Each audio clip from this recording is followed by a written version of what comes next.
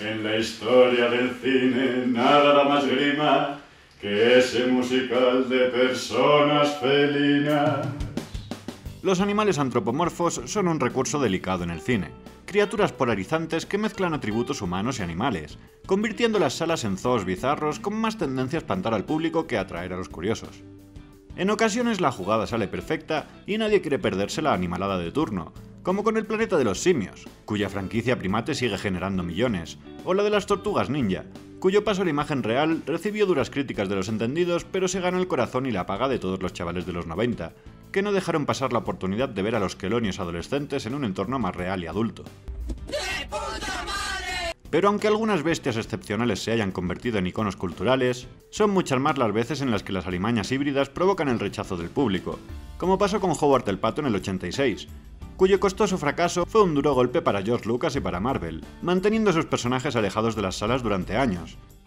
Los hombres canguro también se pegarían un batacazo en taquilla en la adaptación de Tangirl del 95, y al año siguiente las firas bípedas participarían en una de las producciones más notoriamente desastrosas de Hollywood en la isla del Dr. Moreau, donde unas criaturas muy conseguidas serían eclipsadas por dos actores de renombre que pese a interpretar a los personajes humanos acabaron siendo los más animales. Pero ni los patos, ni los canguros, ni los híbridos mutantes provocarían tanto rechazo como los protagonistas del sonado y sonoro fracaso de Cats. Afilaos las uñas y llamadme furro. Hoy vemos Cats.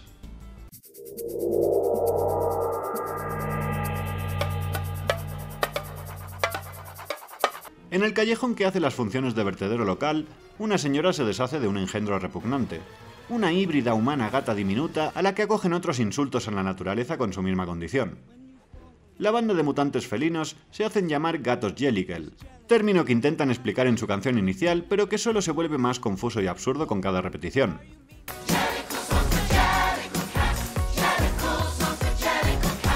Se ponen todos espirituales y se suben a una estatua, ya que este grupo de gatos tiene como una secta a la que la novata se esfuerza por integrarse, secta que no duda en abandonarla cuando aparece Macavity, un gato con poderes que quiere ganar un baile anual en el que el premio es ser sacrificado para renacer con una nueva vida gatuna. ¿Qué broma es esta? En la casa de una gata doméstica descubrimos que el resto de animales también son aberraciones monstruosas, como los niños ratones a los que ha obligado a convertirse en una boy band, o las cucarachas a las que devoró durante su desfile. Las preguntas se acumulan cuando vemos que la tirana se arranca la piel para mostrar su ropa. Pero antes de que podamos asimilar lo que ven nuestros ojos, ya nos están presentando el siguiente gato, que se caracteriza por ser caprichoso, y que da paso a la gata vieja, a la que humillan porque antes era una estrella, pero que se fue con Macavity y la prostituye, creo. El proxeneta hace desaparecer a la gata casera mientras los demás bailan con un gato gordo, al que también se lleva, y cuya presentación da paso a la presentación de unos gatos traviesos que destrozan la casa de sus amos. La líder de la secta hace acto de presencia y parece que los gatos están teniendo una reacción alérgica a algo. Pero lo que pasa es que empieza la competición de baile, de la que hasta la protagonista se aburre rápidamente, prefiriendo salir a buscar a la gata andrajosa. Ha pasado más de media peli, pero eso no evita que continúen las presentaciones de nuevos personajes, a los que Macavity sigue secuestrando para tener menos competidores. Gata Taylor Swift droga a los meninos y el villano aparece para ser elegido, pero la líder se niega y el tramposo se la lleva a su barco, porque tiene un barco, el gato mago intenta hacerla volver, pero solo hace aparecer tu carta, aunque gracias a la fe de sus compañeros invoca a su amada y abrigada líder. El resto de olvidados del barco se liberan gracias a la falsa piel de la gata tirana. El hecho de que la piel falsa tenga peso en historia es peor todavía. La felina desechada canta sobre su gloria pasada, provocando un diluvio de lágrimas, y es concedida el privilegio de subirse a un globo. Te pasas toda la peli pensando, ¿pero de qué hablan estos monstruitos? ¿Vamos a ver a uno renacer de verdad? ¿Qué va? La suben a una lámpara atada a un globo y trepan a una estatua a ver cuánto tarda en caer. Podía pasar. Están todos tarados. Esta peli es muy cutre. ¿Qué te pasó Tom Hooper? Tras comenzar su carrera en la televisión inglesa, Tom Hooper empezó a cosechar premios Emmy con biopics para la HBO como Elizabeth I, Longford o John Adams. Pese a que sus dos primeros largometrajes para la pantalla grande no funcionaron bien en taquilla, fueron bien recibidos por la crítica, y a la tercera llegó la vencida con el estreno de The King's Speech, en la que consiguió hacernos empatizar con alguien increíblemente privilegiado al mostrarle superando dificultades leves. El éxito del film le abrió las puertas de Hollywood al director, al que le ofrecerían hacerse cargo de Iron Man 3, proyecto que rechazó para dirigir Los Miserables, la adaptación cinematográfica del musical de Broadway que adapta el libro de Victor Hugo del mismo nombre. El dramón cantarín reventó taquillas y se llevó tres Oscars, premios que siguió acumulando con su siguiente estreno, The Danish Girl, tras el que llevaría a la pantalla el musical Cats, cuyo fracaso le ha hecho tomarse un descanso profesional, probablemente forzado, durante los últimos cinco años.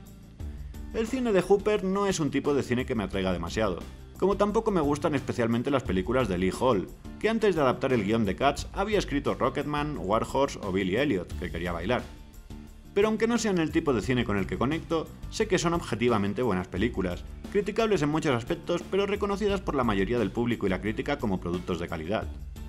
Sin embargo, Cats es remarcada y objetivamente terrible en prácticamente todos los aspectos. La película consiste en una serie de presentaciones con una trama tan simple como confusa, en la que seguimos a una protagonista sin personalidad, que se une a un grupo de expertos en provocar vergüenza ajena que desean ser sacrificados, exponiendo un discurso prosectario con apología del suicidio que sería preocupante si la trama se entendiese o si alguno de los personajes tuviese un ápice de carisma.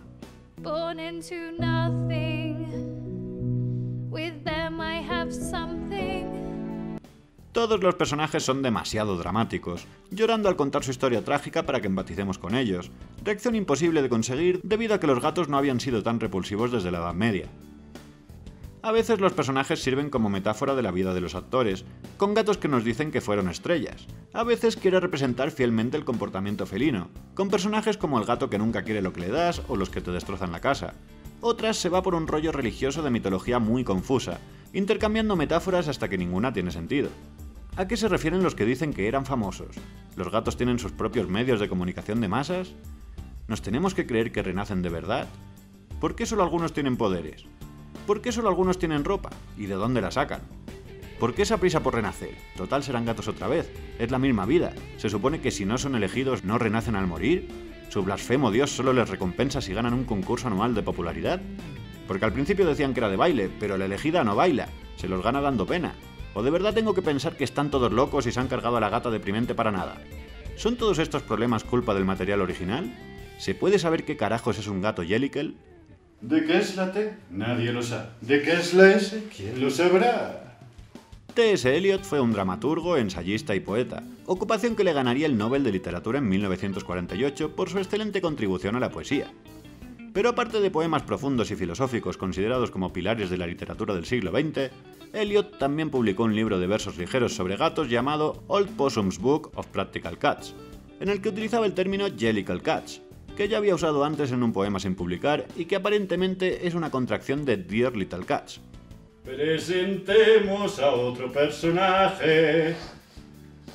Nadie ha sido capaz de dominar y definir el teatro musical durante décadas como Andrew Lloyd Webber, compositor de musicales responsable de éxitos como Jesucristo Superstar, Evita o El Fantasma de la Ópera, musicales que además de dar el salto a la pantalla grande, siguen siendo representados en escenarios de todo el mundo, convirtiendo a Andrew Lloyd Webber en una figura aclamada por los fans del género. A finales de los 70, Webber quería comprobar si era capaz de componer a partir de poesías previas en lugar de trabajando con un liricista, ejercicio para el que recurrió a uno de sus libros favoritos de la infancia, Old Possum's Book of Practical Cats. Fue desarrollando las canciones hasta plantearse convertirlo en un espectáculo, para el que contaría con el director de teatro Trevor Nunn, quien insistió en que para que la obra fuese un éxito necesitaban una trama general en lugar de números inconexos, así que se aferraran a los conceptos del baile de los Jellicles y del cielo de los gatos mencionados brevemente en los poemas para desarrollar una mitología que permitiese formar una historia sencilla que sirviese de apoyo a los puntos fuertes del evento, los bailes, las canciones, el llamativo vestuario y la espectacular puesta en escena. Cats fue un éxito desde su estreno en el 81, convirtiéndose en uno de los musicales más longevos en el West End de Londres y en Broadway, sin embargo, a diferencia de la mayoría de producciones de Weber, Cats no sería demasiado apreciado entre los fans del género. En el capítulo Kimmy's Rich de la serie Unbreakable Kimmy Schmidt, el fabuloso personaje Titus Andromedon descubre accidentalmente que en realidad Cats es una obra improvisada por actores hambrientos de atención. No hay director ni libreto, solo gente sin sentido del ridículo que se pinta la cara y suelta estupideces.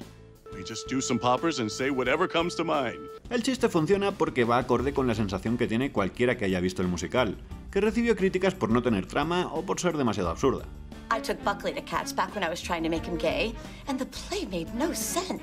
Y lo peor es que ni siquiera todas las canciones funcionan. Algunas son terribles hasta hacerse insoportables, siendo además pegadizas. Espantosa combinación que se muestra en toda su gloria con la canción Jellicle Songs for Jellicle Cats, motivo por el que es perfecta para que la princesa Caroline la tenga como sintonía de llamada en espera que hace perder los estribos a Bojack Horseman.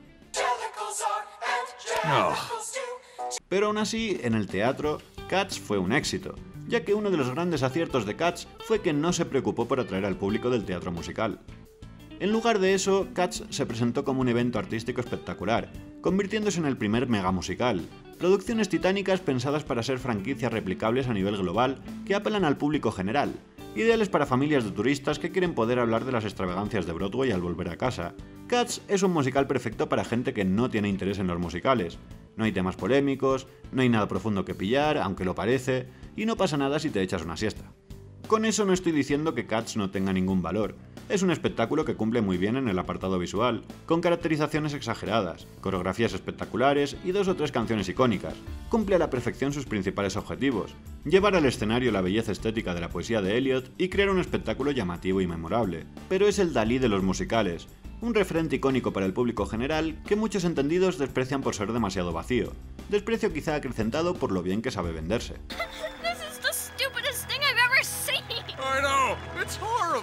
Pero ¿por qué Cats funciona en el teatro y no en las salas? Porque la peli es tan jodidamente mala.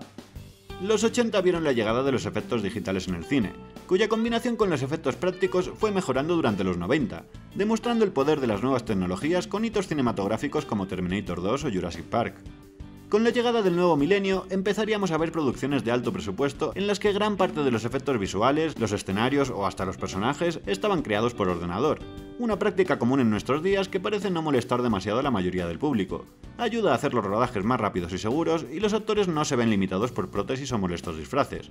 Pero la maravilla del CGI vino acompañada de una peligrosa condición, que los creadores no iban a saber realmente qué apariencia tendría su película hasta llegar a la postproducción. El CGI de Cats es tan inquietante que resulta violento a la vista, una ofensa estética constante que se asegura de convertir el punto fuerte de la obra teatral en su mayor debilidad. Ver bailarines con trajes de gato llevando a cabo coreografías impresionantes pierde toda la gracia cuando sus cuerpos y movimientos resultan irreales, su sola presencia es desagradable y sus caras parecen pegadas con Photoshop. No tiene ningún sentido que un gato lleve zapatos de claqué, pero el número del gato del tren supone un pequeño respiro al dejarnos ver unos pies reales bailando durante unos segundos, permitiendo que tu mente deje de repetir por un momento, pero ¿cómo coño no se dieron cuenta de lo que estaban haciendo? Cats ha sido uno de los mayores fracasos de los últimos años, y nadie necesita ver más de unos pocos minutos de metraje para entender por qué. Sin embargo, me parece reivindicable como clásico contemporáneo del cine cutre, en el que todos los implicados se toman vergonzosamente en serio un guion absurdo en una película visualmente incómoda. Es un fascinante desastre millonario lleno de estrellas y buenos profesionales, incapaces de ver el evidente bodrio en el que estaban metidos, confirmando que aun contando con el mejor poeta, el mejor compositor teatral, un director oscarizado, un guionista aclamado y un casting repleto de actores y cantantes de fama mundial, puedes apañártelas para presentar un producto ofensivamente repulsivo que no le gusta a nadie. Mira, muchas gracias.